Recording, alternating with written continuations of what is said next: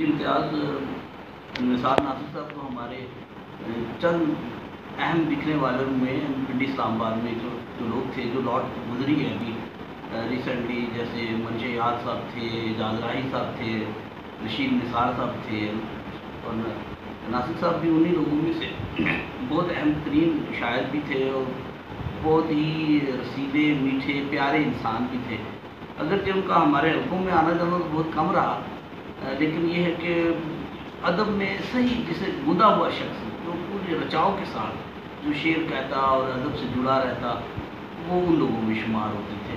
और उन्होंने जो गीत, जिस गीत की वजह से वो मकबूल भी हुए दिल्ली पाकिस्तान अगर से ज़ाहिर है वो कंपोजिशन इतनी उमदा थी कि वो गीत इतना ज़्यादा मकबूल हुआ। तो रशीद नास निसार साहब, जो थे, नासिक साहब देखिए चाहे नज़म हो, चाहे गज़ल हो, उनकी चीज़ें बिल्कुल मुनफरद हैं। अपने तमाम, अपने अहद के लोगों से भी मुख्तलिफ़ हैं। मैंने यहाँ पर उनकी एक नज़म भी मुंतखब किया। ये मुझे बहुत शुरू से ही ये नज़म बहुत बहुत देखें। तीन चार लाइनों की है नज़म। और आपको पसंद भी आएगी फाख्ता तो पागल थी। एक अलामती इशाराती देखें, अमन के हवाले से। फाख्ता तो पागल थी। मौसमों की साजिश में फिर फरेब खा बैठी। फाख्ता तो पागल थी। मौसमों की साजिश में फिर फरेब खा बैठी तोप के दहाने पर घोंसला बना बैठी तो पागल तो अब देखिए कि ये ये चंद लफ्ज़ों में कितनी बड़ी बात उन्होंने कही है।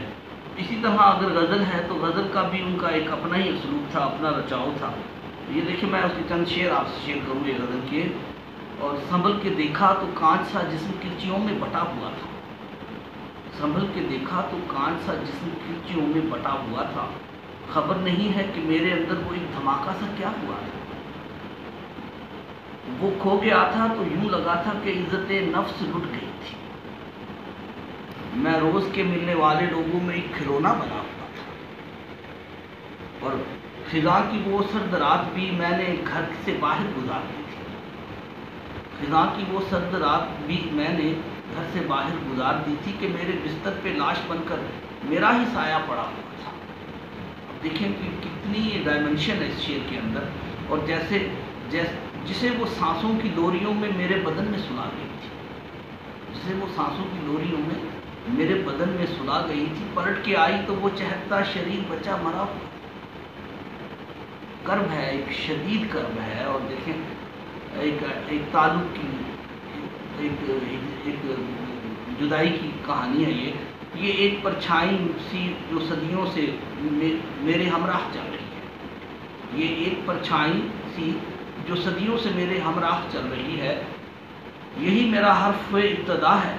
इब्तदा है मैं जिससे अब तक जुदा हुआ तो अब जो हमें दुख ये है कि जो उनके हालात थे आखिरी दिनों में उसका भी हमें सबको अफसोस है।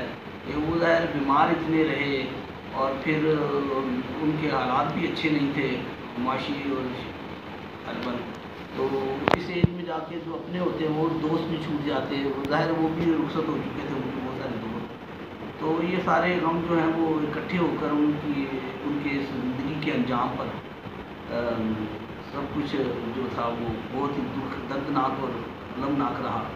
तो उनके लिए बहुत सारी दुआएँ हैं बहुत सी तो दुआएँ मफफरत है।